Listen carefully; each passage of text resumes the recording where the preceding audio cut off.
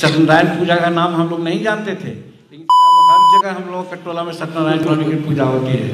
इतनों में शर्म लाज नहीं लगता हम लोगों का कि पंडित आते हैं इतनों में शर्म लाज नहीं लगता हम लोगों का कि पंडित आते हैं इतनों में शर्म लाज नहीं लगता हम लोगों का कि पंडित आते हैं।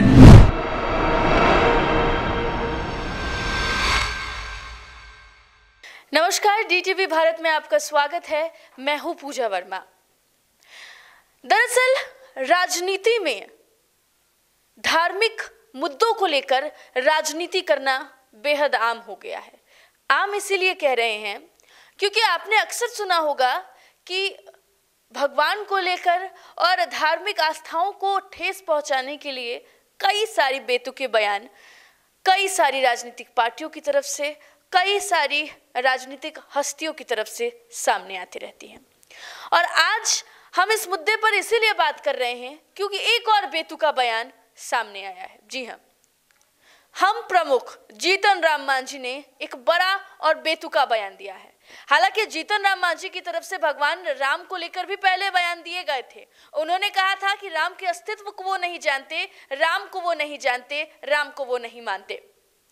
और एक बार फिर से जीतन राम मांझी ने एक बड़ा बयान दिया है।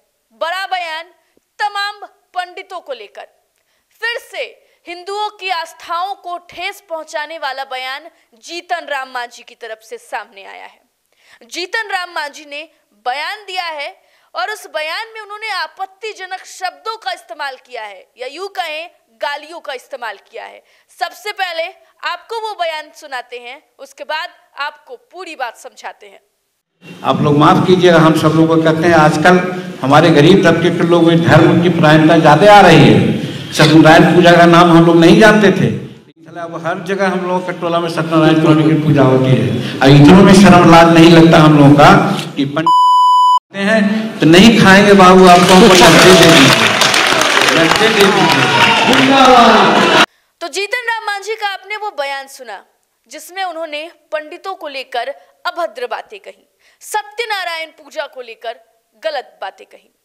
गलत इसीलिए कह रहे हैं धार्मिक आस्थाओं को चोट पहुंचाना, हिंदुओं की पूजा, उनकी परंपरा को चोट पहुंचाना, ये कहीं ना कहीं दुर्भाग्यपूर्ण है। और ऐसी राजनीति होनी नहीं चाहिए।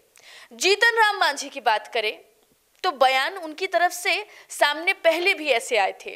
और उस वक्त भी जब मांझी से बातचीत की गई थी तो उन्होंने कहा था कि वो राम को नहीं मानते, हालाँकि वो लोगों को पूजा करने से मना नहीं करते हैं। और ये जो मौजूदा बयान उन्होंने दिया है, ये जो बयान हमने आपको सुनाया है, उस बयान में मांझी ने पंडितों पर अपशब्द का प्रयोग किया, पंडितों को गालियाँ दी। उन्होंने कहा कि वो घर आते हैं दक्षिणा मांगते हैं, भोजन नहीं करते। और जो शब्द का उन्होंने इस्तेमाल किया है, वो शब्द हम आपको बता भी नहीं सकते, बोल भी नहीं सकते, क्योंकि वो आपत्तिजनक शब्द हैं, वो गालियाँ हैं और उसका इस्तेमाल करना बेहद गलत है। लेकिन सत्यनारायण भगवान के ऊपर भी उन्होंने टिप्पणी की, उसकी पूजा को लेकर उन्होंने टिप्पणी की है। तो देखिए, धार्मिक आस्थाओं को ठेस पहुंचाकर, राजनीति मज़बूत करना, अपनी, अब चार लोगों के बीच और अपनी जनताओं के सामने, लोगों के सामने आप इस तरीके से बेतुका बयान देते हैं तो उसका कोई अर्थ नहीं निकलता। लेकिन हाँ सुर्खियों में बने रहने का मुझे लगता है, जीतन राम मांझी को आजकल ज़्यादा शौक हो रहा है और तभी यही वो वजह है और तभी लगातार उनके ऊपर, जब हम कहें, जब उन्होंने ऐसा बयान दिया था तो लगातार सत्ता पक्ष, उनके अपने नेता जो हैं, वो बयान दे रहे थे उनके खिलाफ। राम के अस्तित्व पर जब उन्होंने सवाल उठाया था, तब भी सत्ता पक्ष के लोगों ने उन पर सवाल किया। लेकिन मांझी की तरफ़ से यह बयान सामने आया। जीतन राम मांझी ने यह कहा कि वो किसी को मना नहीं करते, राम की पूजा करने से, हालाँकि वो राम को नहीं मानते। वो भगवान नहीं मानते। लेकिन देखिए, अब एक बार फिर से पंडितों को लेकर, सत्यनारायण भगवान की पूजा को लेकर उन्होंने ये बड़ा बयान दे दिया है। और ये बयानों का दौर उनकी तरफ़ से जारी है। सियासत के बीच, सत्ता के बीच, धार्मिक आस्थाओं को ठेस पहुंचाना ये बेहद गलत है। भारत एक धर्मनिरपेक्ष देश है। यहाँ पर हर धर्म को सम्मान है, हर जाति को सम्मान है और हर भाषाओं का सम्मान है। ऐसे में एक ऊँचे पायदान पर बैठकर, एक राजनीतिज्ञ होकर एक पार्टी के प्रमुख होकर जब आप ऐसा बयान देते हैं तो ये दर्शाता है कि आपकी पार्टी की विचारधारा क्या है। हालाँकि आप एक निजी बयान अपनी तरफ़ से दे रहे हैं, लेकिन ये आपकी पार्टी के व्यक्तित्व को दर्शाता है। आपके व्यक्तित्व को दर्शाता है कि आखिर आप क्यों ऐसे बेतुके बयान दे रहे हैं। और एक बार फिर से हिंदुओं की को ठेस पहुँचाने वाला बयान जीतन राम मांझी की तरफ़ से सामने आया। वो बयान भी हमने आपको सुनाया। मुझे लगता है इस बयान को सुनने के बाद फिर से, और और ये देखने को मिलेगा कि सत्ता पक्ष भी अब ये हम इस बयान के बाद हमलावर होगा। लेकिन कितना हमलावर होगा?